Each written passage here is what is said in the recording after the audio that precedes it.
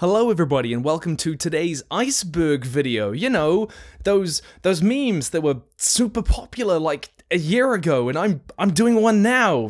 Yeah, I'm so good at my job. But if you don't know how an iceberg video works, then we start at the top with the light-hearted or things that you might know, and then we work our way down into the dark depths of the lore and theories and things you might not have ever heard of, the bizarre and weird, as we explore the the depths of Avatar: The Last Airbender. And I am in the unique position, you might say, of being the originator of some of the things that you might find on these icebergs. Uh, having been doing this job, talking about this for years. This is my life.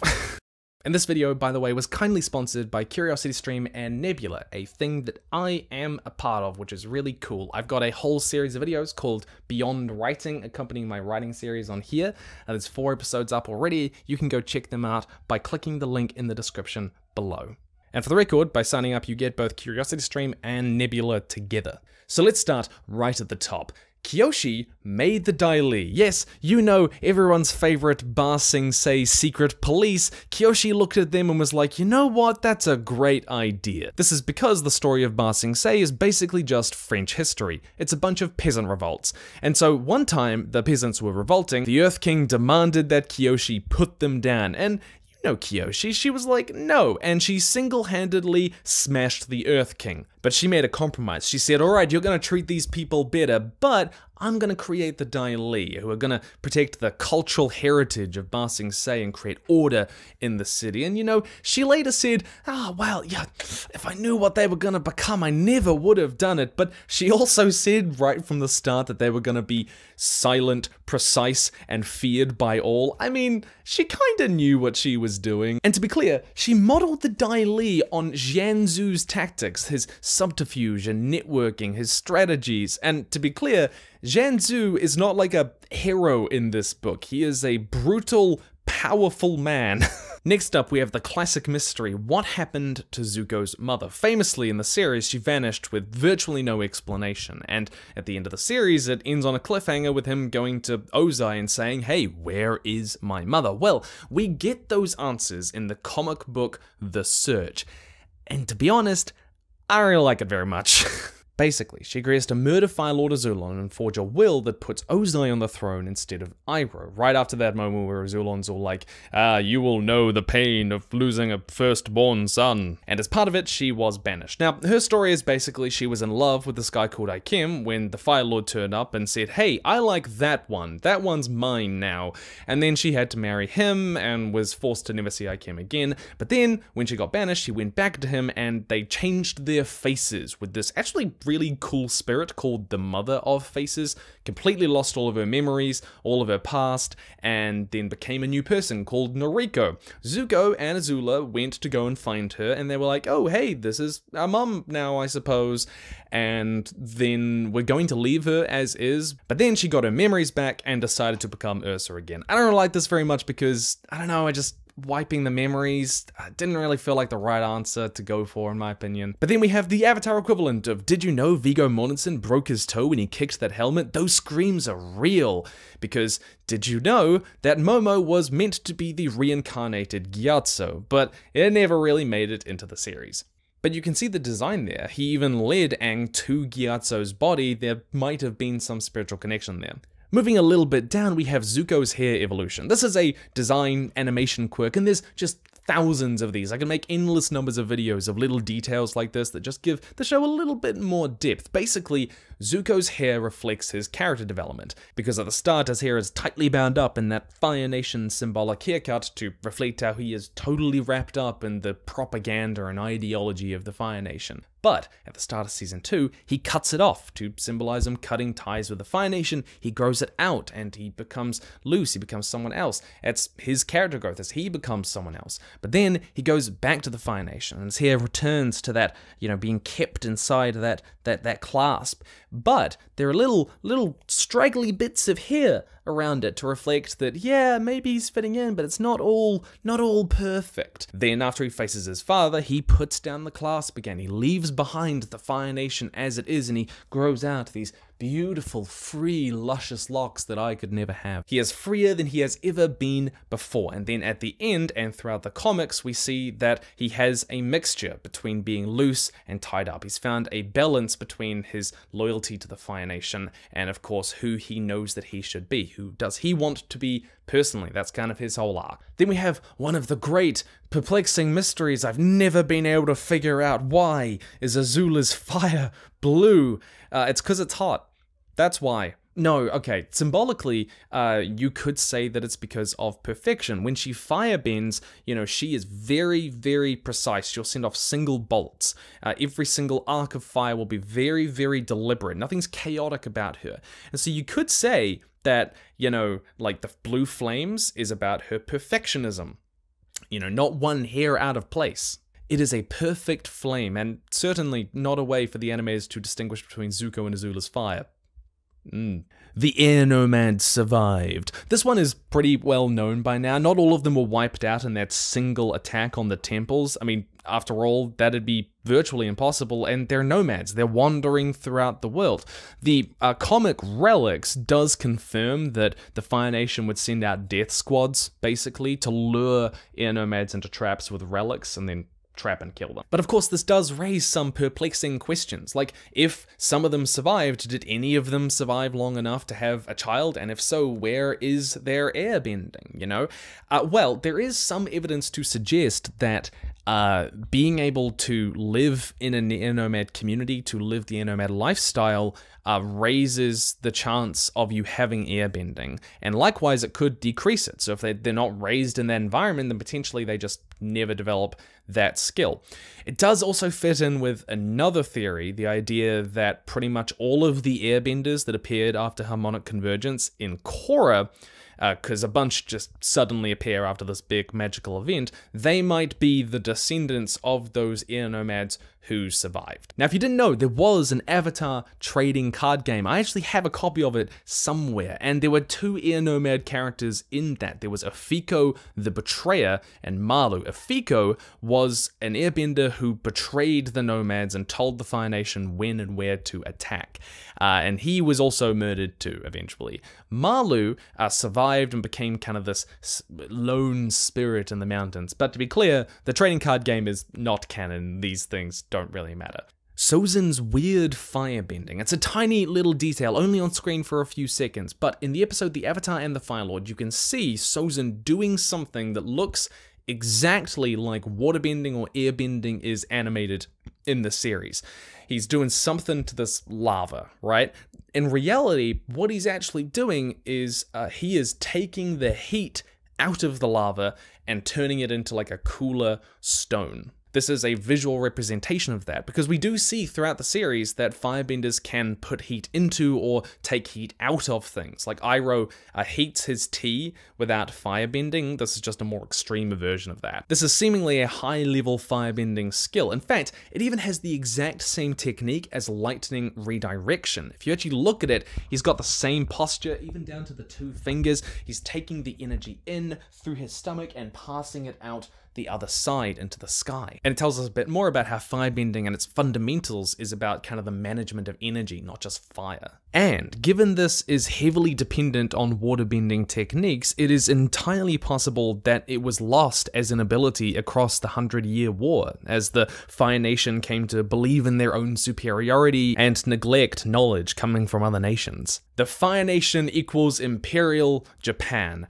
All I'll say is watch out for my next video. Original Toph. Now, Toph's character was originally meant to be a guy and more like the Boulder, or Toph's character in the Ember Island Players, this hyper masculine, big, muscly dude. This is before they came up with the idea of a blind girl, someone who is virtually the entire opposite of everything they were thinking and the best decision they possibly could have made. But that's the simple, the well-known, the easy, the light-hearted. Let's move down a layer. Sokka is White Lotus. At the end of the episode, Sokka's master, he is given a single Purple Pai Sho tile, a white lotus. This is the universal symbol for the White Lotus Society, a, a world spanning organization of the most powerful, wisest, strongest people on the planet, all trying to ensure that things don't go to hell. The group wonders why he was given this, and supposedly it's just something to remember him by, but it could be an initiation into the order. And you've got to think about what this episode is about, right? It's about Sokka finding his place, recognizing his own value, his own skills, and considering he is all about coordinating other people, about planning, about thinking outside the box, Sokka is textbook White Lotus, and Piandao tells him, you know, you are worthy, more worthy than any other man I have ever trained. But Sokka's death has always been a mystery. We know he was deeply involved with creating this post-war world, and that is exactly what the White Lotus organization was doing as well. And being involved in the White Lotus would bring him up against any number of powerful enemies, one of whom could have killed him glass bending. I made a video ages ago about this and I actually can't remember if I said I thought glass bending was possible or not, but it is. The books confirm it. The shards of glass in her skin plucked themselves out under the force of her earth bending and balled into a floating clump. It's actually not in the book, it's my phone. YouTubing 101, if they're reading from a book, they're filthy liars. But glass bending does come into kind of the difficulties in defining bending, and I made a video on this called uh, Is Flesh Bending Possible? Because for some reason people are goddamn obsessed with the idea that earthbenders should be able to like bend the iron in our blood or something. Makes me angry, go watch the video. Guru Pathik is Lao Ge. This is a fascinating theory, okay? Now, Guru Pathik is said to be around 150 years old when we meet him in Avatar. He tells Aang that he was a personal friend of Monk Gyatso and a spiritual companion to the air nomads. But what does that really mean, right? Supposedly, he was born 50 years before the air nomad genocide, but he may well be a lot older than that. There is a man in the Kyoshi novels called Lao Ge. He appears like a quirky loner, often friendly, often lazy, but in truth, he's hinted to have gained the secret of immortality. Ever hear the tragedy of Lao Ge the Wise? Being several thousand years old at the point in this story, He's described as having a wispy white beard, wearing ragged clothes that conceal corded muscle, with white hair, wiry arms, and bony fingers. Can you get an even more exact description of Guru Pathik? I don't think so, but even more than that. But we will never know. I actually thought that I came up with this theory because I put this all together on my own, but then I looked it up and a bunch of other people had also thought of it. Oh well. Appa understands human speech. Now, throughout the series, Appa has a bunch of moments where he understands incredibly complicated instructions and responds in ways that a human would, as if he has a very real awareness of what people are talking about. And this is Momo, my cat. How are you today, Momo? So we have scenes written from Momo's perspective, don't we? And all we hear is just gibberish, right? Does not understand human speech. Appa's scenes, though, perfectly clear, 100% English. But secondly, Sky Bison are literally magic, okay? They're just sky wizards. They can airbend. That is magic. There is a suggestion that they might be part spirit in some way. I mean, dragons are certainly more intelligent. They are also clearly more than animals. Why not Sky Bison? What are the chances that they are connected to the spirit world in a way other animals aren't too? I, I quite like that idea. When you look at the other original benders, the moon, the ocean, the dragons, even the lion turtles bestowing the elements themselves, they're so much more than animals. I love the idea that the sky bison and badger moles are intelligent, but intelligent in a different way to humanity. That beyond all of the floof and cuddles, they have a deep tie to the spiritual world, their own wisdom that we never quite truly see, that we can't even possibly comprehend, just like the lion turtles. But it gets even weirder because of one little detail that's thrown away that barely anyone even thinks about. There is no bending in the spirit world. Why is that? There are huge spiritual dimensions to bending powers, like water bending and lightning redirection, and air bending as a whole. Like, literally, just living in a spiritual community meant that every single child born into it was born an airbender. It's not a perfect correlation, like, Ozai is, of course, one of the most powerful benders ever, but is very much not a spiritual person. But that relationship is there, and bending ability is, in a way, an expression of someone's relationship with the spirit world. And if that's the case, where does that leave our sky bison? Especially given how important it is to airbending specifically. What what what do you what do you think, Momo? What what do you do you, do you think? What do you think? Do you think anything? Gyatso is a murderer. Let's think about how we found his body. There are enough dead Fire Nation soldiers around him to recarpet his entire house, okay? And let me remind you, when they attacked him, this was Comet superpowered firebenders. They are not normal firebenders. How did he kill them all? And how did he kill them all here, specifically in this area? You know, you could kind of understand him killing them one by one as he evades and escapes and whatever, but all right here at this moment? Well, the famous fan theory suggests that he basically sucked all of the air out of the room, vacuumed it all, and this does two things. Number one, it suffocates the firebenders, but number two, it kills their firebending. No matter how powerful it is, it's got no oxygen to burn. And this was considered pretty nothing until we see Zahir do it in Legend of Korra. He creates a vacuum around the Earth Queen's head, sucks out the air, and she dies.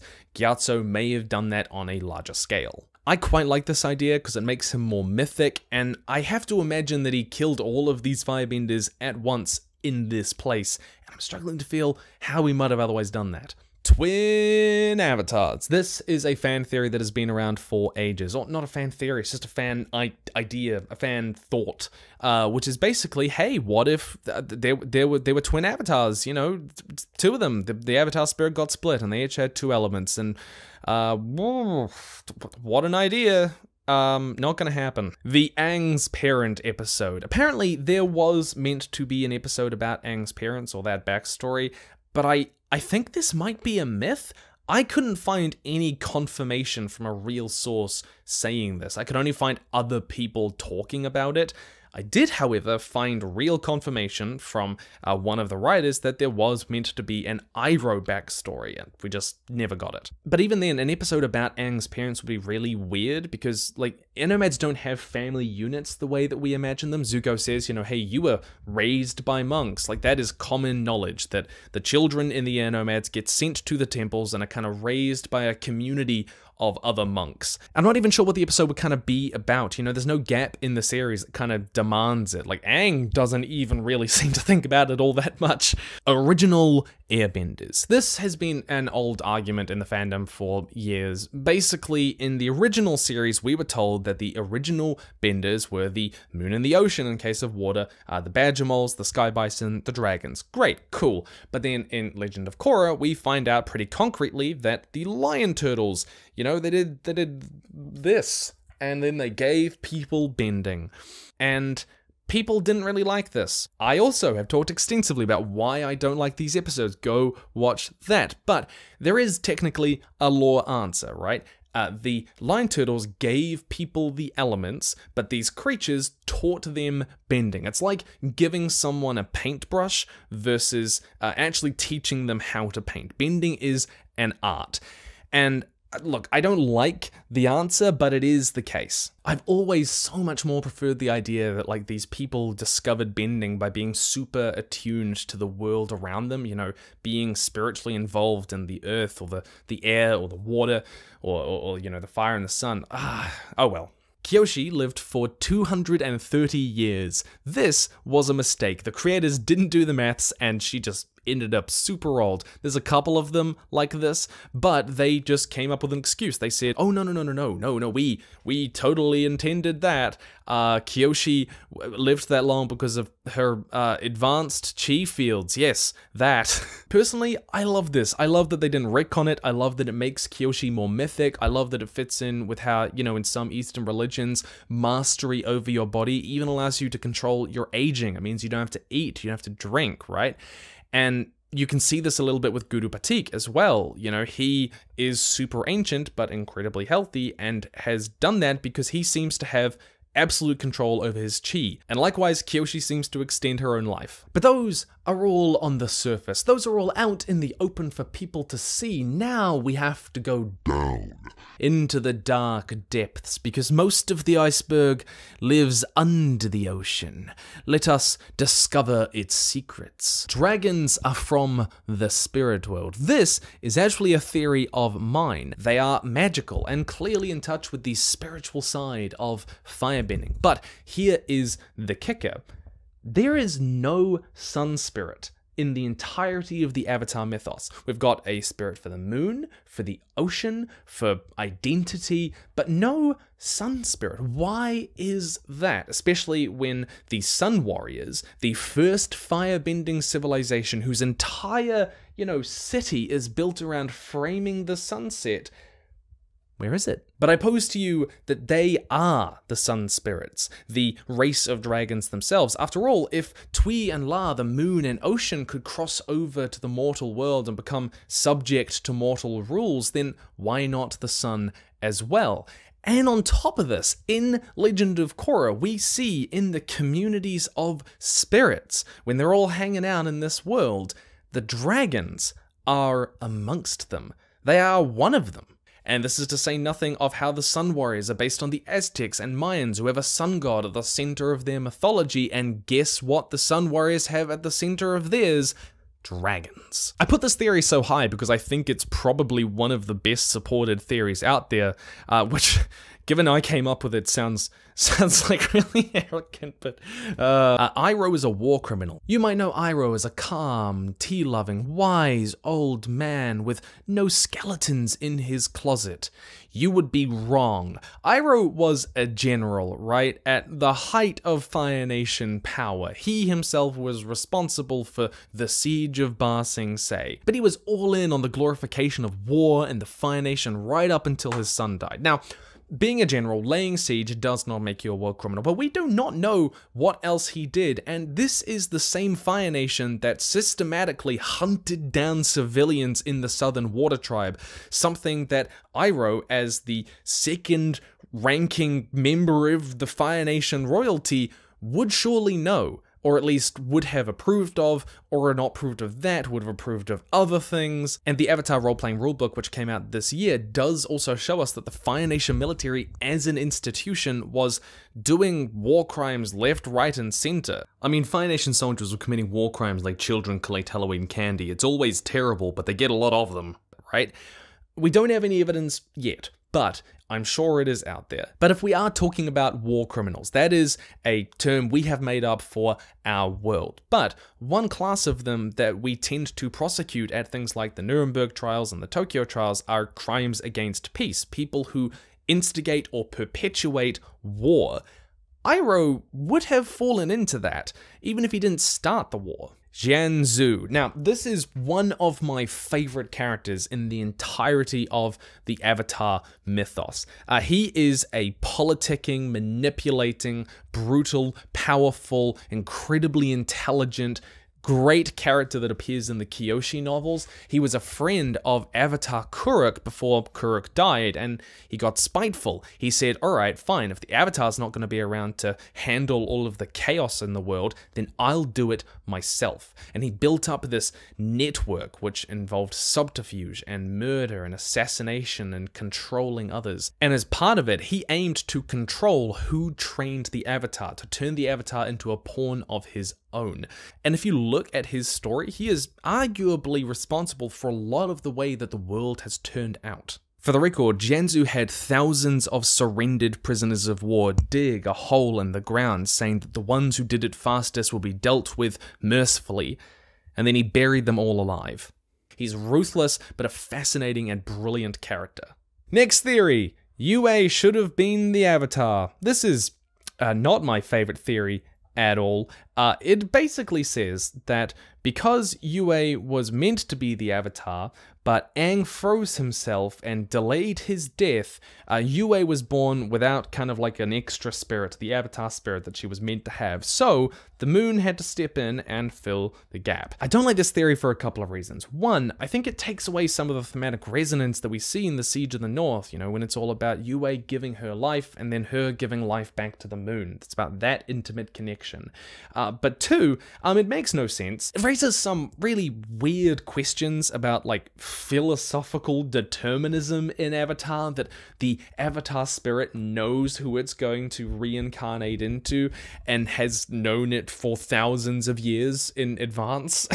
and that that in turn means that person has to be born so a bunch of other things are already predetermined but then again there is like the concept of destiny but then for some reason Aang freezing himself wasn't part of the plan that that action was somehow completely out of the blue for the Avatar Spirit, and they're like, well, oh, screw this, what the hell am I meant to do now? Not to say that Aang was like predetermined to die at that certain age. There are concepts of a fate and destiny written into the series, but I, I don't think it works in this way. Alright, let's just get all the Yue theories out of the way. Yue sent the meteor. In Sokka's Master, a meteor comes out of the sky, and then he ends up turning that into Space Sword. My light went out, you'll all have to deal. Basically, this theory says that because, and follow me closely, because the moon is from space and the asteroid is from space, then that must mean that Yue saw that Sokka was feeling down and not really happy planet, with his place which in the group. would mean that and he he realizes decided to find Piandao, an he asteroid goes to find then Piandao down to planet, the which meteor, the means that he meteor- a space sword. That's the theory. Now, Yue does intervene sometimes. She calms a storm to save Aang once, but this is not it. Sokka and Suki boned, and this one is canon, and I love it. In the episode The Southern Raiders, Zuko walks into Sokka's tent only to find him incredibly willing and ready to lay down the pipe for Suki. Then in the morning, Sokka is wearing this wreath, which in Hawaiian culture I believe symbolically represents that they have consummated. Kaya equals Katara. Now, if you didn't know, Katara's original name was meant to be Kaya, but some other company had the rights to it, so they had to change it. You can actually uh, see that Katara is named Kaya in the unaired uh, pilot episode, uh, but then when Legend of Korra came out, they could use it. They had the rights to it now, and so they named Aang's uh, kid Kaya, the waterbender. And she is a lesbian. Did you ever hear the tragedy of Kaya the lesbian? It's a little bonus tidbit for you. Sokka died fighting the Red Lotus. We don't know how Sokka died. It's one of those mysteries. We know he was around 80. I mean, he was old. And it was around the time either just before Korra was born or when she was very young. But something interesting happened when Korra was just an infant. The Red Lotus tried to kidnap her. And if Sokka is part of the White Lotus, then this could even be symbolically resonant. That the Red Lotus split off after the White Lotus emerges into the open, with Sokka leading it in part, and then, and after contending with the Splinter Group his entire life, he gives up his life in order to preserve its mission and protect. Is it a coincidence that these two things happened around exactly the same time? I don't know. It's a weird thing, though, to not mention when talking about the Red Lotus that, you know, uh, he gave up his life defending you. At least not explicitly. It could have happened off the page. And there are important story beats in Avatar that have happened off page before. Need I remind you of how they clarified that some airbenders did in fact survive? Aang is a Amon. When Legend of Korra was first airing, we had no idea who was behind that mask, and there was all sorts of speculation about who it might be, and so it was rife with speculation, but perhaps the most popular theory was that behind that mask was an old, grizzled Aang. This was fueled by a single image that popped up across the forums with little explanation, supposedly as a leak of future episodes of, of Amon removing his mask and revealing Aang's face. See, we knew by this point that Aang had supposedly died pretty young, but we didn't know how. It was a bit of a mystery. It was strange that it hadn't been communicated at all. And of course, Amon could remove bending, and the only other person who was ever known to be able to do that was Aang. The theory went on to suggest that after a long life of being the most powerful bender in the world, Aang came to realize that bending was a scourge on the world, and that he could remove it and save a lot of people suffering. Either that or Aang did die, but only part of the Avatar spirit moved on into Korra, and that was why she couldn't airbend, because the airbending part hadn't moved on yet, and it was still Aang moving around, being Amon. And so Amon was a spirit of sorts, and to be honest, it's not the worst theory, especially with the knowledge that we had at the time. And credit where credit is due, that image, which of course did turn out to be a fake, was really well put together. It looked exactly like the animation style in the series. It would have been an interesting twist to play with, that potentially it ends with Aang dying and moving on, the last of the spirit moving into Korra and allowing her to airbend, but I think a lot of people would have been really frustrated with what they did to Aang's character. Toph and Sokka babies. We have no idea who Toph had kids with, and so this has been endless fertile ground for speculation and theorizing, and the number one name that rises to the top every time is Sokka. supported by a few things. Number one, Toph has a crush on Sokka in the series. Number two, Sokka doesn't seemingly have any kids or concrete family of his own left behind, which means that there's a nice gap for them to fill with uh, Suyin and Lin. But number three, and this is the most compelling reason in my opinion, uh, Zaofu, the, the metal bending city, represents kind of a combination between uh, Toph and Sokka pretty well. You know, metal bending and ingenuity and creativity and thinking outside the box. But there are also a couple of problems with this theory. Sokka probably died late enough that Suyin would definitely remember her dad, and for some reason never really brings it up in the entire series. It's also heavily implied that he wasn't around as a father for the girls when they were little. Toph does mention a man by the name of Kanto, which could be a Fire Nation, Earth Kingdom, or Water Tribe man, but she says that it doesn't really work out, and that name could easily be a cover for someone else she's trying to hide. And Toph having a crush on Sokka doesn't really mean that much when she also had a crush on Zuko, and that does not mean that she gave birth to Izumi. Another candidate is possibly Satoru, a uh, an inventor guy that only appears in the comics. He kind of hits it off a bit with Toph. But he also has wavy hair, which is very similar to Suyin's. But my friends, let us delve even deeper to another layer of the iceberg with Zutara works better. To be honest, romantic chemistry is not one of Avatar's strong points. Some people say that Aang and Katara have the chemistry of noble gases. This ship has been around for ages ever since the series came out, and perhaps for some people it's because there's more narrative depth to it, but at least half of the attraction is the tall, dark, handsome, you know, man sweeping the girl up. It's a trope we've seen in a million stories. It's just beyond this door. What is? In my honor! Part of it is kind of this thematic symmetry of fire and water and blue and red, character opposites attract, and them both having traumatic pasts with the Fire Nation, with their mother, which they help each other get over. And Zutara was thrown around by the writers at some point in early development, but I mean, Zuko is 16, Katara is 14, and they really did not have enough time with each other in the series. And in my opinion, I think that there's something very beautiful about deep friendships where people can change each other without it necessarily needing to be romantic. So while yeah, I can see that perhaps Aang and Katara choosing each other didn't have as much narrative or thematic meaning or depth as perhaps Zuko and Katara choosing one another might have meant. Uh, but I don't think that it would have been the right way to end the series. Energy bending was bad. This is another favorite little bit of commentary about the series that you see popping up from time to time, and it's not an unfair criticism. You can read about how basically the creators didn't have any idea how they were going to end the series, you know, with Aang defeating Ozai until the final season, even perhaps kind of the latter half of the final season, and they were like, oh crap, how are we gonna get out of this without him killing him? They had written themselves into a corner, and this was one short way out of it. Because, to be honest, the Lion Turtles were not well foreshadowed. Them being shown in a couple of episodes is not the same thing as setting up energy bending as a concept, as a way to resolve the conflict of the series. Calling it Deus Ex Machina is not an unfair interpretation, especially because the finale is set up around this point of tension of is Aang going to choose himself and let Ozai live, or choose the world and kill him? And energy bending was an easy way out of that dilemma.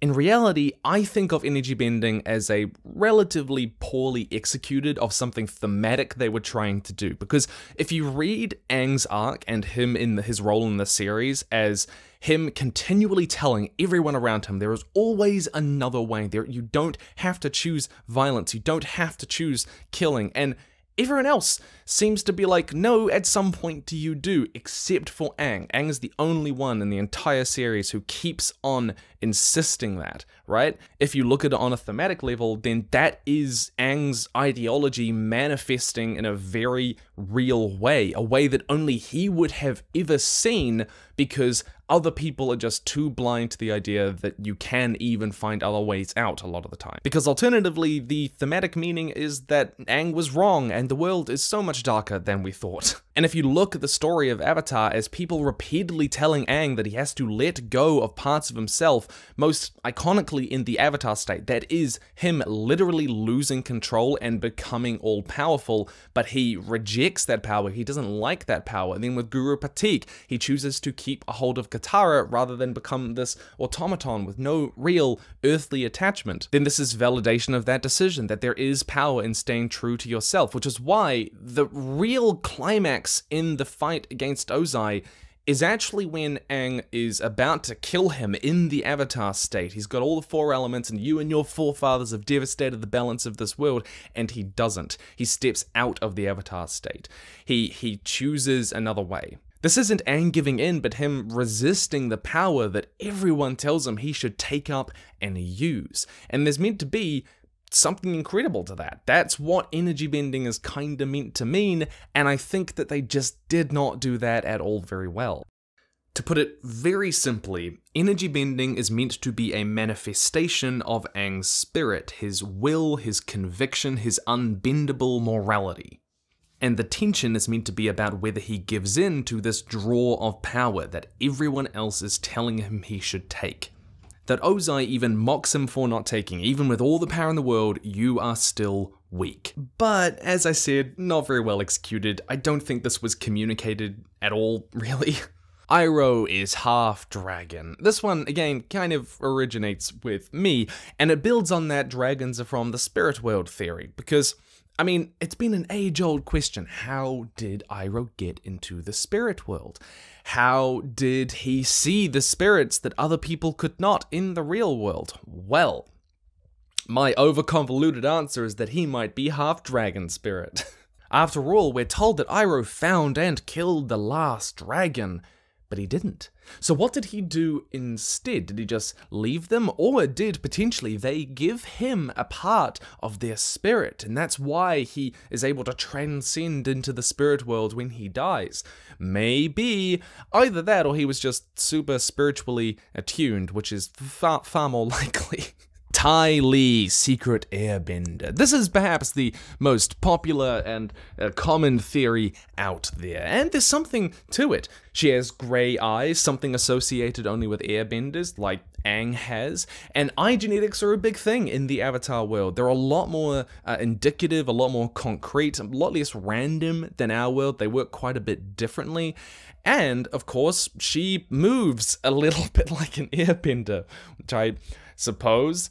Uh, but more importantly, um, in the Avatar role playing rulebook, there's a bunch of new lore, and we find out that the Fire Nation noble houses got really in on air nomad philosophy before the war began.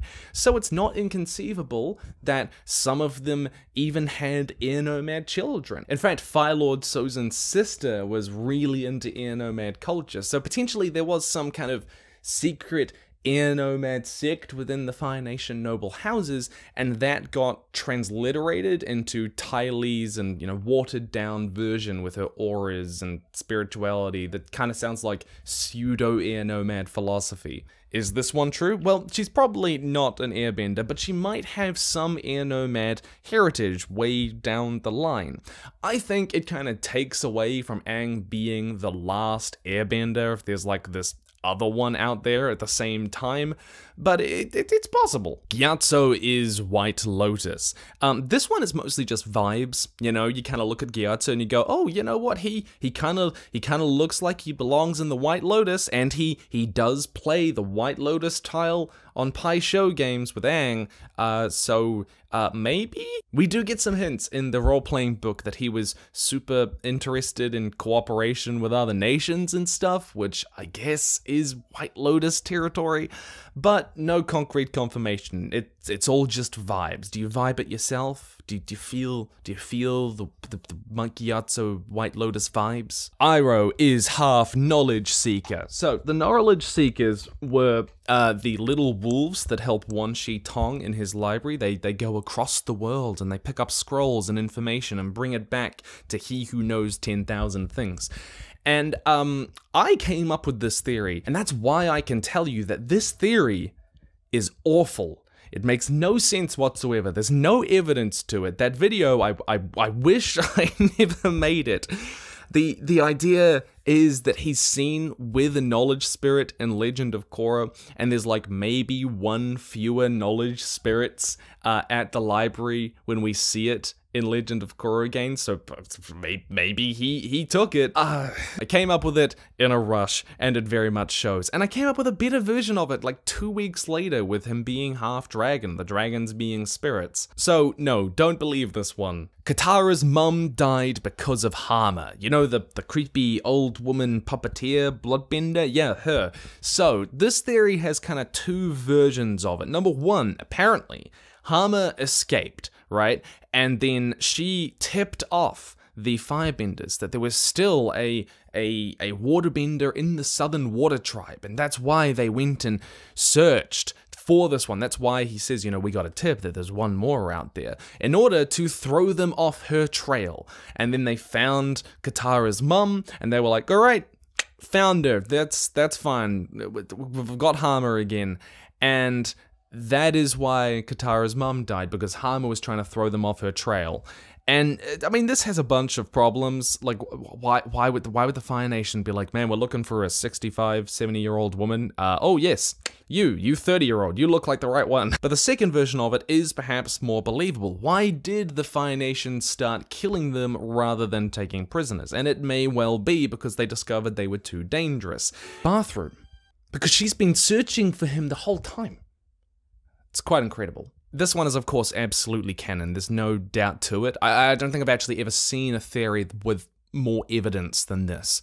Koh killed the blue spirit. Koh the Face Stealer is a fan favorite, probably the most fascinating spirit we have had in the entire series. And he only appears once, and he promises, We will meet again, Avatar, and then we never see him. I was so pumped, and we never did. I that is the that is the biggest letdown of the series. But there is a small moment where he is flashing through the faces that he has stolen, and we see this blue uh, mask type one with, with with white fangs and red eyes, and it looks very very similar to the blue spirit mask that Zuko uses in uh, in his disguise. But here's the kicker. The blue mask comes from this play called Love Amongst the Dragons. And in that play, there is a dark water spirit who has this mask. Alright? Now, there's a possibility that this story is like an old myth. You know, it's an old story that's been transliterated into a play. And so this dark water spirit may have been a thing until Koh stole its face.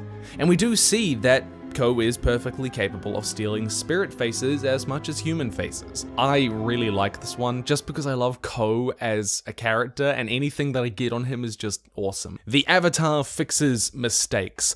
Uh, this is basically the idea that each incarnation of the Avatar fixes the mistakes of the previous one.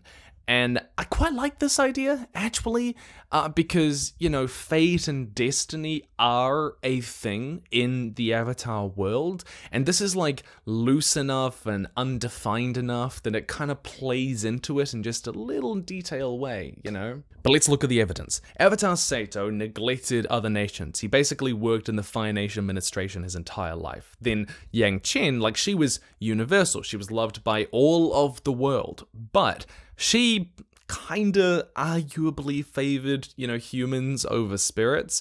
But then Kuruk, who came after her, well, he fought dark spirits. He tried to restore the spiritual balance of the world. Uh, but he was also kind of neglectful and lazy and maybe a little bit too carefree, not as involved as he should have been. And then we get Kyoshi, who was incredibly involved, perhaps a little too involved, you know, with the whole Dai Li thing. She was assertive and made controversial decisions, but Roku, who followed her, well, he was quite a bit more reserved. He was, you know, more careful in the decisions he made as an avatar. But he did also let the Hundred Year War happen. He failed to stop it. And then we have Aang. Aang, who, of course, ended the Hundred Year War. But, eh, you know, he didn't manage to save the air nomads. And then we've got Korra, who brings them back, or at least was there when they came back. The evidence for this theory is kind of loose enough that you can believe what you want to. You know, if you want to think that this is the case, then you can point to all of that, and if you don't want to, you can poke a bunch of holes in it. But I like that it adds kind of a an arc to history in a way. I like that there is there is a sense of some sort of design uh, behind all of this, uh, which I think feeds a little bit into the themes of the series. And if it is true, then this might mean that the next Avatar is all about restoring the connection with past lives or something like that. The lion turtles are gods. This is another one of mine, and it's probably one of my favorite theories that I've come up with. Uh, basically, we get this little moment in Beginnings, right, where Raava refers to the lion turtles as Ancient One, like the spirit of light and goodness and order herself refers to a lion turtle as older than her. But there are a couple of other hints. Number one, obviously, the world turtle appears as the originator being in a ton of, uh, you know, different mythologies, the mythologies that Avatar heavily draws on. But two, uh, there is this little line when the lion turtle is talking to Aang and he says, In beginningless time, we did this, right? And those words are just vague enough that we can interpret them however we want. And I like to imagine it as them having come from an era when there was no time, that they exist outside of it. Turn gave birth to time, uh, symbolically in the Tree of Time, which we see in Legend of Korra. But what's really interesting about the Tree of Time is it is surrounded by this uh, yin yang symbol, right? And the yin yang symbol are what Raava and Vatu also represent the light and the dark, with a little bit of light in the dark and a little bit of dark in the light. And we do know that spirits come into being progressively. They weren't all there at the start. So we can go, we've got the lion turtles, and then we had Raava and Vatu, and then we had, you know, the Mother of Faces and, and Father Glowworm and all these other really powerful spirits until eventually we got to the little ones that we see scattered throughout the place that represent trees and forests. But the lion turtles are at the top. And of course, they exist both outside the material world and outside the spiritual world. Uh, the Shirshu can't smell Aang when he's on it because he's literally not on the planet. Amon is spiritual. Alright, so we never really got a concrete answer as to how Amon takes people's bending away, but it's basically this. You know water healing, where, uh, you know, Katara does all the magic water and it glows and stuff like that? Well, what that is doing is it's helping the energy flow through the chi paths of the body, and water helps it do that. Uh, Amon is pretty much doing the reverse of that. He's using water healing to block people's chi paths and prevent them from bending. But water healing is a spiritual ability as well, and the more spiritual you are, the better you are at it. If that is the case, then Amon must also be very, very spiritual, very in tune with himself and the world, especially because I'm sure that doing the reverse uh, it, it takes even more precision, even more power, given he seems to be the only one that can do it. Now, he tells his followers that he was given the power to take away bending by a spirit. And that's such a good story. I, I kind of wish that they went with that because there's there's so much more mythology to it. But theoretically, it could still be true. Yeah, he is a waterbender, but this is a power that he was taught by a spirit. I mean, we saw that Zuko learns how to re-firebend, a new type of firebending from the dragons. Why not the same with this? I love the idea that Amon, even though we never really get to see it, is the spiritual powerhouse. But here's the thing about icebergs, right? Most of them are underwater, and that applies to the world at large as well. Most of it is ocean, and we should learn a bit more about that world, right? And that is our world. Which is why you should watch a documentary by David Attenborough, yeah, the man himself, called Deep Ocean. And it explores the ecological world of the deep ocean and everything in it, and its beauty and majesty and the amazing things that live under there. And you know that you need to watch a David Attenborough documentary. Everyone does. It's just a thing that you do, okay? And you can do that on Curiosity Stream, which you can get access to by clicking the link down below. But in addition to that, by the way, Curiosity Stream has supported this service called Nebula, thing that us creators, a bunch of YouTubers got together and made so that we didn't have to be beholden to like Google ads and things like that. And it has all of our videos. And I actually have a whole other series on there called Beyond Writing, which builds on the writing stuff that I put on here, and you get access to that as well. So go watch Deep Ocean by David Attenborough on Curiosity Stream and get access to Nebula and that uh, Beyond Writing series. It's basically nothing for an entire catalog of amazing educational documentaries and all of Nebula, which has all of our stuff, amazing creators who you all know, including me. And by the way, I wouldn't promote this if it wasn't really cheap. You get all of this for $14.79 for the entire year. That's 26% off right now. Only right now, though. Click the link down in the description below the dropped fourth season. Yes, despite the fact that the third season very much concludes the story, apparently there was meant to be a fourth season at one point. So Aaron Ehasz, who was one of the head writers of the show, is quoted to have said, Yes, I always believed there would be a fourth season. There was a moment in time when we all thought we would do a fourth season of Avatar. Then along came M. Night. Though, to be clear, M. Night Shyamalan wanted us to do a fourth season, but Mike and Brian wanted to focus on the movie. You can interpret the hell out of that if you want. and that lost fourth season may have been what we eventually got in the comics, with the problem with dealing with Fire Nation colonies and the search for Zuko's mother. We don't know. Instead, uh, maybe, yeah, yeah, M. Night Shyamalan's film ended up being made, though that's definitely something. As you know, the tragedy of Zhao the bitch. Aang eats meat. Uh, yeah, so this is, in my opinion, probably just an animation mistake. There are a couple of little scenes in the series where we see Aang holding a, a plate, and there is very clearly, like, meat on the bone on it. And we never see him eat it, I'm pretty sure, but it, it you could imply that maybe he has. Ursa was abused. Avatar is rife with dark things that are just subtext or only hinted at but never fully shown, and this is one of them. We're given this one image in the comic Smoke and Shadow where Ursa returns home to the Fire Nation Palace and she basically has a PTSD flashback. It's one of my favorite depictions of it I think I've ever seen. I encourage you to go watch my videos on Azula's psychology and Zuko's psychology where I discuss kind of their family dynamic in more depth. But we do see that he also explicitly threatens her with violence, and I can definitely imagine that attitude being uh, both sexual, emotional, physical, all of those things together it is no doubt in my mind that, that Ursa is a traumatized person. But the comics do give Ursa a story where she eventually faces up to Ozai and she kind of reasserts her own agency in a story that is very reminiscent of a lot of uh, survivor stories.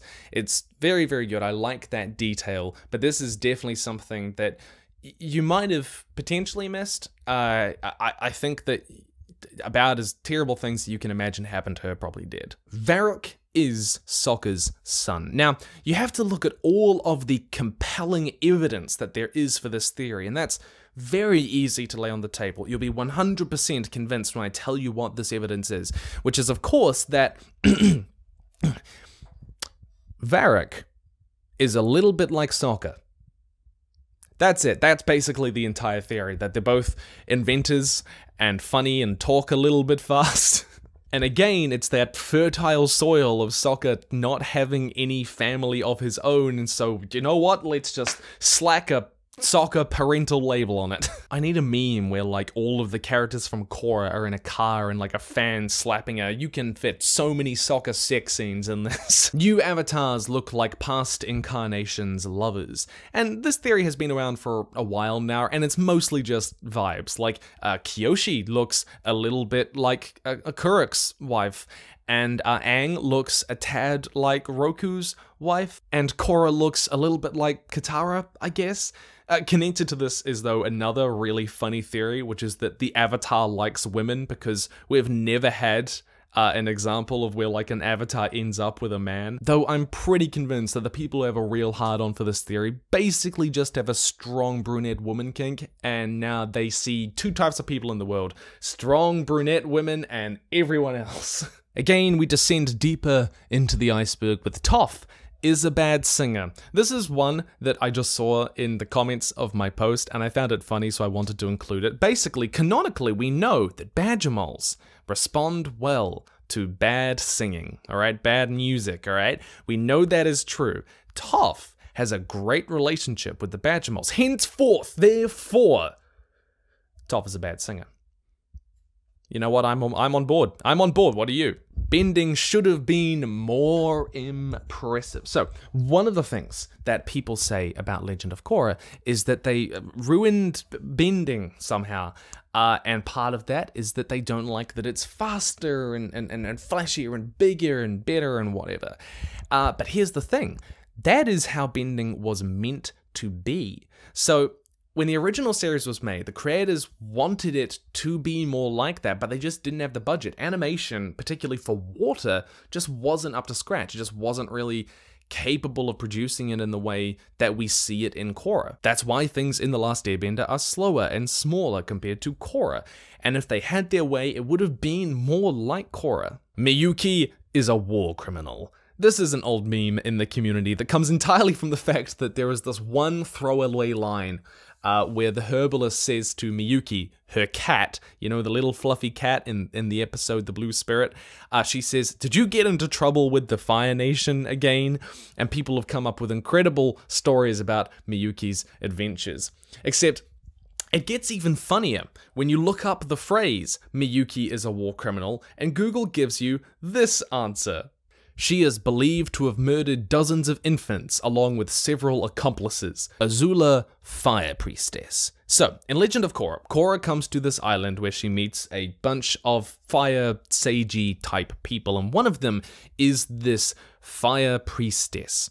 And some people think that this might be Azula for two reasons. Number one, she's roughly as old as Azula would be at the time. And two, uh, there were always plans, and potentially they may still happen, for Azula to have a redemption arc, and that she would become more spiritual and, and, and stuff like that. And given we have very little information about what happened to Azula later on in her life, it is rife for speculation. It's like Sokka's loins activities all over again. I don't think there's much to this one personally, and I don't think that this would be a particularly interesting answer to what happened to Azula anyway. The darkest day in Fire Nation history.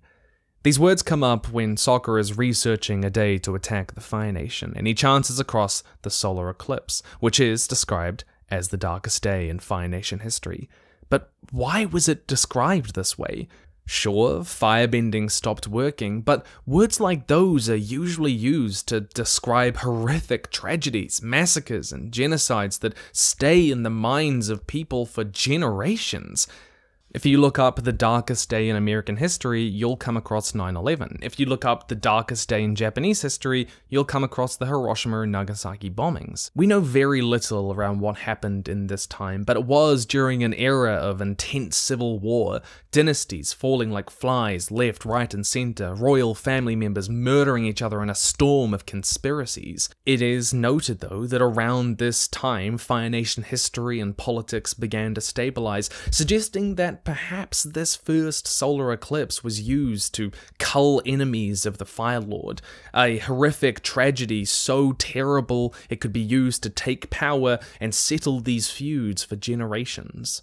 How many died to make that possible? What dark pacts with spirits were made? How many firebenders were murdered when those who were kept under their boot finally realized that they could overthrow them? The next one down is that animal guides die with their avatar. This basically comes from one scene in the original series where Avatar Roku's spirit guide Fang the dragon chooses to die with him in the volcanic eruption. Spirit guides are kind of these animals that uh, all avatars seem to end up with. Uh, uh, Avatar 1 had a Karibo, uh, Aang had Appa, uh, Korra had Naga. Roku had Fang. It does seem like this isn't just like a random connection with an animal, it's deeply spiritual. It's profound in a way that other people that aren't the Avatar don't really get to have. The idea being that they are so deeply connected that they cannot live without each other. And I like this one. I think it adds a nice dimension to that relationship. But this does mean that at the end of it all, Aang and Appa went on to live together forever, just like Fang and Roku did. How exactly, tell me, did Bumi become king? You don't know? No, neither does anyone else. There is no indication in that flashback that Bumi was ever of royal blood, and Aang certainly doesn't recognize him as royalty at all. The fact is, when Aang knew him, he mustn't have been considered royalty. Now, there are any number of ways that monarchs can ascend to the throne. They can be elected, chosen by the people or nobles. But there's no evidence that this happens in Omashu, nor anywhere in the Earth Kingdom for that matter. And in the Kyoshi novels, we see that the king or queen of Omashu has absolute power with no oversight whatsoever. Perhaps they're chosen via some sort of earthbending contest. That's why they have the pit and the challenges that Bumi puts Aang through, and Bumi, of course, would be perfectly capable of winning that. But it's also heavily implied that some of the previous uh, monarchs were not benders at all. This leaves us with one other option. He took power by force. And of course, what is Bumi good at? What does he tell Aang? Wait. Wait for the right moment to strike. Perhaps that is exactly what he did. See, Omashu was on the front lines. It was likely it had been contending with the Fire Nation for decades throughout Bumi's life. Who knows what sort of politicking had gone on in the royal courts of Omashu? Perhaps they'd been corrupted, perhaps they fled, but either way, Bumi stepped into the role, overthrowing the royal family, taking the throne, wiping out any threats to his grip on power. Potentially because he wanted to protect Omashu, and he didn't think that the regime as it was was doing that. In the Kyoshi novels, we also know that Omashu was a home to a complex web of diplomats and schemers, and yet we see none of that in the series. What happened to them? Well, maybe Bumi happened. All these diplomats and schemers could be corrupted and bribed by the Fire Nation, and he got rid of them, safeguarding Omashu for decades to come. The Earth Kingdom takes a lot from the many dynasties of Chinese history, some of which did rise to power in rebellion, with new peasant people taking the throne by force and using that mandate from heaven to say that, well, the gods have chosen me. So yes, maybe Bumi wiped out the royal family of Omashu to take power, but perhaps he did it for a good reason. Moving down, Zuko's wife. Who was she? It could have been Mai, it could have been Suki, it could have been Sokka. Who knows? At this point, it might as well have been. But uh, he does have one daughter, Izumi. Izumi does seem to have the cold assertiveness of Mai, but Mai and Zuko broke up in the comics. Maybe they got back together later in life, we just don't know. One detail we have is that Zuko retired in 167 AG, when he still seemed incredibly physically and mentally capable. Did his wife die? Did that change his life? We just don't really know. Omashu is a lion turtle. So, in beginnings, we see that the earth lion turtle, one of them, rises out of the earth. That it is literally submerged under the ground until someone called it up. And we also know that lion turtles stay dormant for long periods of time. Uh, they just kind of sink under the ocean and become islands. They become part of the landscape and uh, they sleep.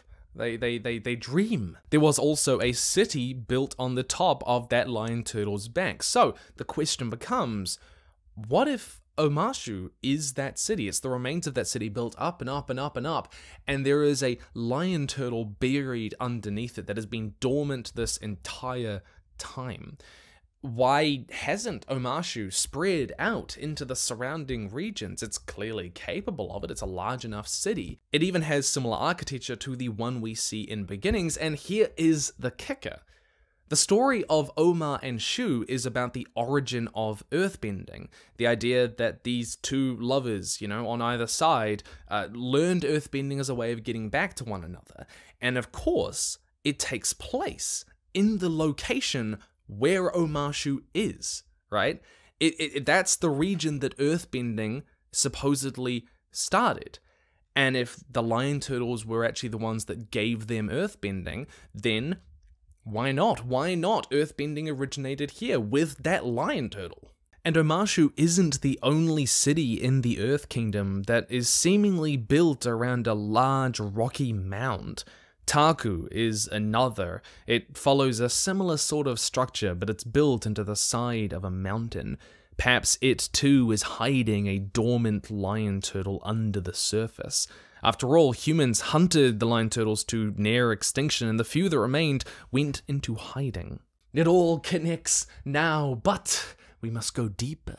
We must learn the truth deeper into the iceberg because hybrid animals were just possessed by spirits. This is one of my favorite theories, okay? Think about it, alright? Hear me out. We see that spirits can possess living things in beginnings, and when they do that, it changes their appearance. It gives them elements of that spirit's appearance.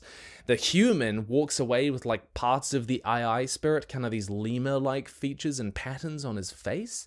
So, is this how the hybrid animals first originated? Because there are some normal animals. We've got Bosco the bear, we have Miyuki the cat, we've got a few other insects, and I think a gecko or a bird at some point. But all of these hybrid animals dominate the planet. They're totally out there too. So, what if the spirits, you know, possessed animals and imparted some of their characteristics to them, creating a whole new race of them that perpetuated throughout the world? Especially because if you actually look at the designs of a lot of spirits, you can see animal features in them. You can see lemurs, you can see turtles, you can see goat horns, you can see hooves, you can see all sorts of half animal like features that could create these hybrid animals. And this would explain why the humans remember the names of just the animals as they are and take the names for the hybrid animals from them because they were around at a time when there were just those animals before the spirits were sent to the spirit world. But of course, it's been too long that everyone has forgotten how they came to be in the first place. And to add to this, the creators actually have stated that the lotus spirit that we see in one episode of Korra may have once been a monkey, a monkey that fell through into the spirit world and took on the appearance of what it was eating, that being a turnip. Given back in the era of the lion turtles, animals could freely move through the portals, it was a lot easier for them to merge with the spirits or the spirit world. It's not impossible that this happened more often too. The Avatar world is Pluto. Okay, well, not Pluto Pluto, but the size of Pluto. Because the funny thing is, if you actually try to map out how big this world must be, it is tiny. If you account for like travel times and distances, they can make it like halfway across the world on Appa in a few days flat. And so, hence, therefore, whence forth, the planet must be tiny, which is I think fair. There are a bunch of different calculations trying to figure out exactly how small some people use, you know, estimating Appa's speed or the speed of a Fire Nation warship or something like that.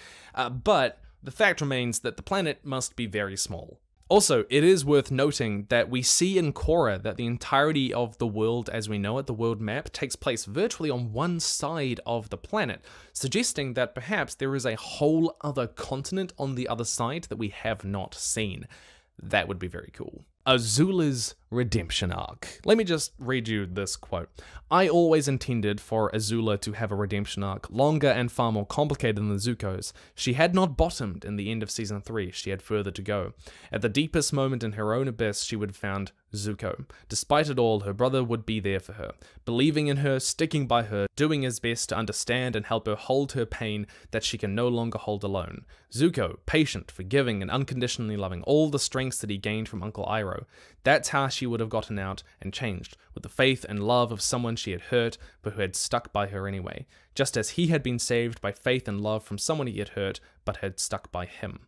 So, this is where that Azula redemption arc kind of came from, and we, we see the beginnings of it in the comics. There are little hints of that. There's this moment where Zuko and her are sitting by a fire and she is sleeping, and he's watching her and staying up to protect her. And, you know, uh, Katara asks him, why do you do this? You know, after all she's done, why are you sticking by her? Why do you stand up for her? And, and then he says, she's my little sister. You know, she is family. I'm gonna stick by her. It's that Uncle Iroh uh, being passed down to him and through him. And I like that idea, though I'm not sure we're ever gonna see that redemption arc.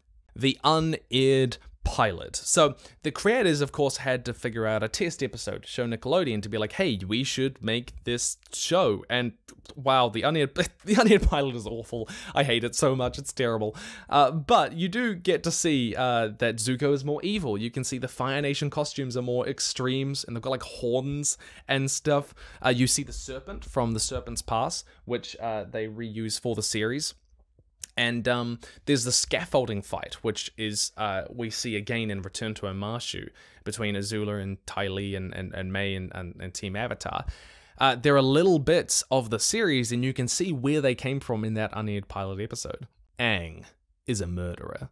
I mean, this one is kind of undeniably true if you discount cartoon logic. I mean, when he turned into the uh, ocean spirit and then totally wiped out dozens of Fire Nation ships, like turned them over upside down, washed people into freezing Arctic water in full body armor, with knowing that they would probably drown. It is hard to believe that Aang has not murdered people. And there are tons of other little moments in the show where Aang does things that probably killed someone if he thought a little bit more about them, like when he eco terrorists, the Fire Nation factory, and the Painted Lady? Was there really no one else in there causing a flood or whatever, you know? Uh, but again, cartoon logic. These people survive, and sometimes uh, they actually go out of their way to show individuals who you think probably would have died actually did survive. But if you really do pay attention, he has probably killed quite a few people. Avatar form equals greatest moment, or perhaps more most memorable moment is more accurate because there has to be a reason that they appear the way they do in the spirit world or when an avatar is calling on them. And it's not simply how they looked when they died, because Kyoshi appears really young, as does Avatar 1. It's gotta be more than that, and I thought about this for a while. But, if you think about it, one of Kyoshi's most important moments was her defeat of Chin the Conqueror. So potentially she looks like she does at her greatest victory, her greatest moment or decision, most consequential decision she made, which was creating Kyoshi Island and killing Chin the Conqueror. Then we have Avatar Kuruk, who looks like he does at the moment that he loses his wife, the event that dictates his entire life. Avatar 1, he looks like he does when he became the Avatar, the first Avatar, when he combined with Raava. Roku, on the other hand, looks like he does when he dies, but it's more important that he looks like he does when he fails to stop Sozin starting the war. It's his greatest failure. And then there's Aang. Aang is reflected as being mostly young, even though, again, he died a fair bit older. But the reason he appears like that, and this was my idea, is that It's the moment he has his children. It's the moment that he is no longer the last airbender, when Tenzin is born. The world of Avatar is a post apocalyptic hellscape that all came about because of genetic engineering. This this theory appears in every single fantasy world, doesn't it? That like everything is just super far in the future uh, after a bad nuclear disaster or something. Well, here's Avatar's version of that. The idea being that uh, there were nanites, and the nanites gave people the ability to bend the elements around them to go. The, the nanites went out into the world and picked things up for them and whatever, and they got too powerful. So there was a special project that created the Avatar as a check on the power of all these benders. And uh, also, there was genetic engineering, which is why there are hybrid animals. And uh, this is why humans also remember that there were once normal animals, and they use those terms because they know that there were once just bears, but now there's, you know, uh, platypus bears because they genetically engineered them ages ago. Uh, and who knows, you know, the, the, the, the huge desert, the great desert uh, in the Earth Kingdom, maybe that's covered in ruins of some ancient civilization. We do have the library, after all, buried. I mean, this one is obviously not true, but some people find it a lot of fun to think about. But now we descend once more, one last time, into the deepest layer of the iceberg to find the unknown, the abominations, the horrors we all try to forget. Because if you didn't know, combustion benders are tortured into existence. Combustion benders have always been mysterious. How do they come to be? Are they born or are they created? Well, in reality, they're kind of like the tortured elite shock troops that you see in other stories firebenders who were often kidnapped at birth and molded into the perfect weapons. They began with something called the Unanimity Project. A bunch of cities in the Earth Kingdom wanted to break free and become kind of a fifth nation of their own. And so they tried to create super weapons that could help them win a war. And that's how the combustion benders came to be.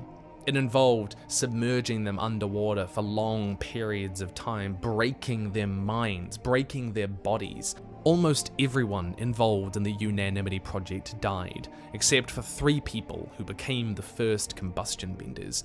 Combustion Man is himself mutilated. He's missing an arm, he's missing a leg, and he's mute or he is conditioned not to talk. He takes orders like a machine. He doesn't question things at all. Likewise, P'Li in Legend of Korra was captured and enslaved by a warlord, likely subjected and brutalized with similar treatments submerged underwater and forced to hold their breath until eventually they either die or rise again something new. They are beaten and broken until they have no will of their own. P'Li was freed by Zahir, that's why she fell in love with him. He taught her the value of liberty and freedom, escaping before she became nothing more than a murderous automaton. But the ability is also strangely spiritual.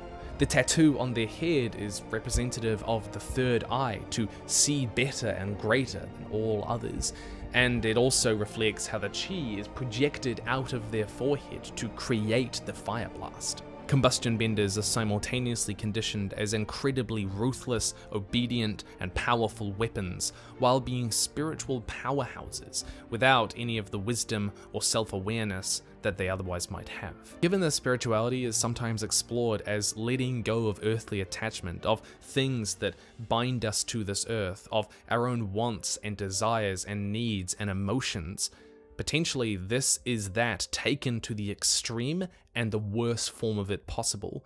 Combustion benders are stripped of any need and want and emotion and thought of their own until they are just these murderous spiritual automatons who have no real attachment to the world around them they are asked to destroy. The cherry pip servant doesn't exist. There's a famous scene when Azula is having her mental breakdown, where she plucks a cherry from a bowl held by a servant and bites into it, only to find there's a pip. A pip she could have choked on. Very quickly, she unleashes her wrath on the servant, banishing her from the, the, the kingdom, from the Fire Nation. Only, was the servant ever really there? If you look at the other two servants in the scene, you could read their expressions as shock, looking to where Azula is speaking and seeing nothing. But more importantly, the servant herself is voiced by Azula's voice actress, suggesting that the servant is a voice inside Azula's head, and we already know that by this time Azula is seeing people around her. She's seeing her mother in mirrors. Symbolically, this could also represent how Azula is her own worst enemy. She has isolated herself from her own friends. So when she bites into that cherry and feels that pip, that's her choking herself. The White Lotus murdered Aang. I know how this sounds, but hear me out. It's why it's further down the iceberg. There are a couple of strange lines where members of the White Lotus tell Korra that Avatar Aang tasked us with keeping you safe while you mastered the four elements. Only, was this really the case? We only have their word to verify it. Aang died shockingly young, the biological age of 66, when previous avatars had lived to hundreds of years old. Now, the creators have said that Aang being in the avatar state for so long had drained his life force, but that doesn't really make sense. See, avatars lived longer when they were spiritual, and Aang was arguably the most spiritual of them all. Kyoshi, of course, lasted for 230 years, and it's implied that many other avatars lasted much longer. What if instead they killed him because someone else came onto the scene, none other than Amon? See, it was around this exact time when Aang died that the Equalists began to form. And didn't they too want to bring balance to the world, across the world, across all four nations, regarding no boundaries? Balance between benders and non benders, but balance nonetheless. And doesn't that sound like the White Lotus's mission too? Surely this issue had occurred to the White Lotus too, and it seems to sort of fit in with their goals, even if it's a perversion of it. If Amon had secretly corrupted the White Lotus's goals from within, then they'd need to kill Aang to ensure he couldn't interfere while Amon built up his strength. The White Lotus is, of course, also made up of the strongest benders in the world, and Amon fits right in. This would also explain why Korra was kept secluded and far away from a public city for so long. The White Lotus couldn't have her getting in the way. And on top of this, when you actually watch the White Lotus members fighting Amon's Equalists in the series, it's like they barely do anything. They're easily defeated virtually every single time, almost as if they kind of want to be. Almost like they're in on Amon's plan and can't let the world know. And let's not forget, the Red Lotus split off from the White Lotus because they felt they had lost their way, their true purpose. Now, Zahir tells us it's because they had come out into the open and just served as the glorified bodyguards of the Avatar. But what if it was more than that? What if they truly did lose their way and came to see bending as something evil, as something they could use to bring an end to the imbalance in the world, but something evil nonetheless? Blue People Avatar. Now, you might not know, but in 2009 there was a little known film called Avatar that came out. It was a spectacularly strange adaptation of the series. It involved uh, people being put into bodies who who couldn't really bend the elements so much, but they, they did use bows and arrows and swords, kind of like in the series.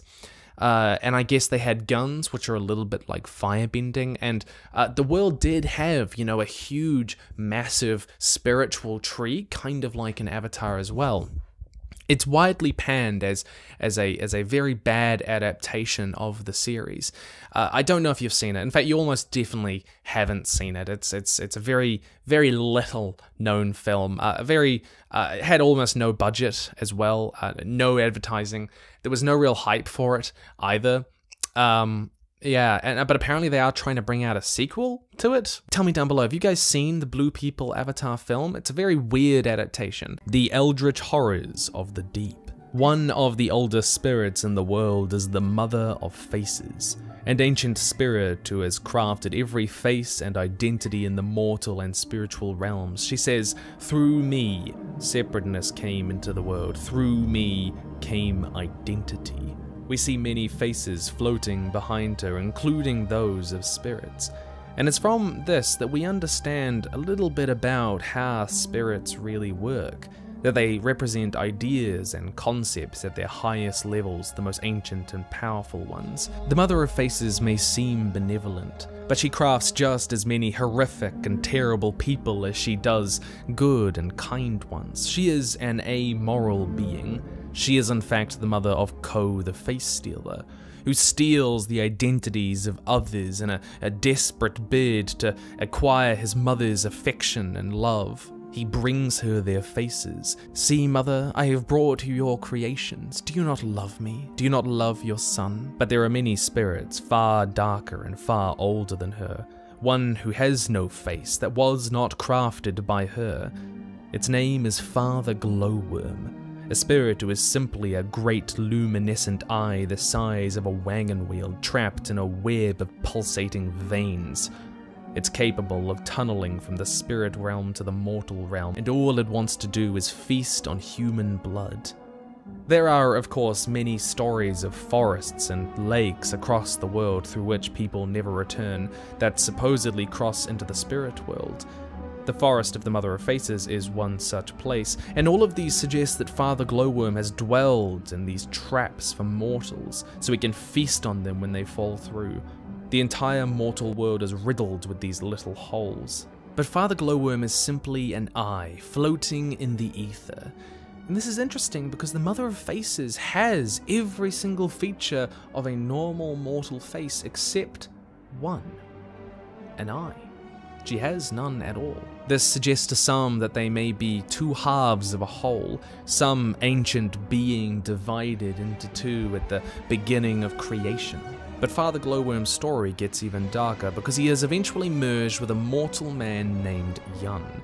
And after that happens, he is described in this way a blinding, nauseating sense of wrongness poured out of his body. People had always been drawn to Yun, but he had changed. There was something essential missing from the otherworldly being in front of her, something human. He had become a hollow scaffolding, a rotting corpse, people couldn't bear to be near him. There are spirits and creatures darker and stranger to the human mind than we can comprehend. Father Glowworm hints at creatures and spirits who are far older and stranger than him, who view humanity as inconveniences, things that can be played with and devoured, who they think little or nothing of. It's always been a puzzle as to how Wan Shi Tong sunk the library back into the spirit world. After all, getting there in the series was nigh impossible. Well, that's where Father Glowworm comes in. Perhaps he punctured a hole through the world as a place to lure people in. People like Professor Zei, who sure enough we see dead in Legend of Korra, except he died clearly while in the middle of reading. Suddenly, it seems, hardly expecting it, hardly of old age or the like or hunger. Perhaps Glowworm murdered him and drank his blood. If the Mother of Faces represents identity or separateness in the architecture of the universe, then what does Father Glowworm represent? Death? What do all these other creatures he alludes to manifest as? What do they represent and mean? Could we even comprehend them? And, given that spirits cannot die, it suggests that Yun, merged with Father Glowworm, was destined to reincarnate over and over, flitting between the mortal world and the spiritual one.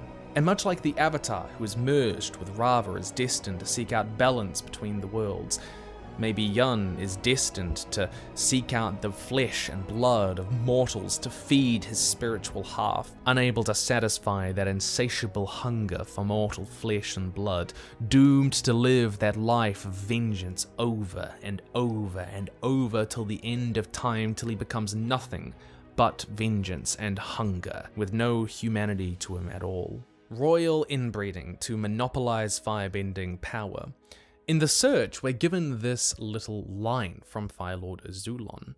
A pairing of the Avatar's grand order with our own son will yield a bloodline of great power, one that would ensure my family's rule for centuries after I am gone. It's well known that lightning bending was really only an ability held by the Fire Nation royal family, and they were in turn the most powerful firebenders in the world. It was the basis of their power, and virtually every single person in the Fire Nation lineage was a bender. How is this the case? The answer? Controlled breeding, uh, eugenics, almost. The royal family is always looking for the right bloodlines to breed with, to ensure their fire-bending power is kept within the family. After all, there are a number of other clans in the Fire Nation that would potentially attempt to take their throne. In the books, Jianzhu even captures the only lightning bender in the entire world and hands him over to the royal family in order to interrogate how he lightning bent. And, and then, from that point on, that ability was virtually only expressed in the Fire Nation royal family.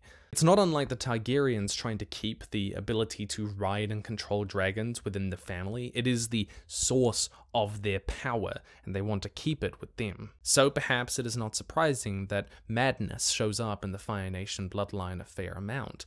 They're so goddamn inbred that they're losing their genetic grip on the world. We also know that Ozai almost threw Zuko into the ocean as an infant when he suspected he wasn't a firebender. And sure, Ozai is a bad guy, but what if this is what the family does? That if there is a child with no bending abilities, they simply never let them reach adulthood? That a long line of dead infants keeps the Fire Nation royal family on the throne? And so we come to the bottom of the iceberg. And right there, at the bottom, is that Zuko is the prince that was promised. If you didn't know, there's this prophecy uh, that there's going to be someone called Azor Ahai who saves the world, right? And there are a bunch of different signs as to who this person might be. One of the first signs is that he will be heralded by a bleeding star falling from the sky. And what better way to explain that than the comet at the end of the series? Zuko becomes the hero that we know him as under that comet. And on top of that, when Zuko is struck by Azula's lightning, he is given a scar on his chest. And what shape does that take? A star, a red, bleeding star. He was also born amid salt and smoke. Smoke, of course, being firebending, perhaps the smoke of the comet.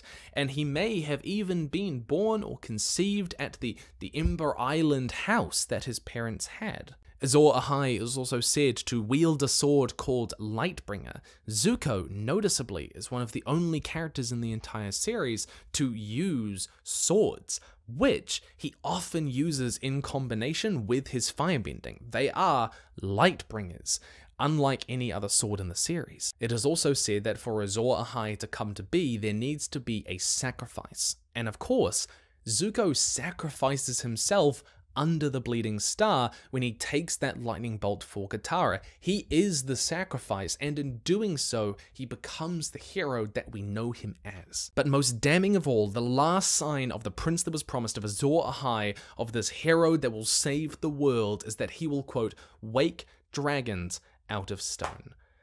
And what does Zuko do in the Firebending Masters other than summon the dragons that have not been seen in ages out of the stone mountains and they give him a power?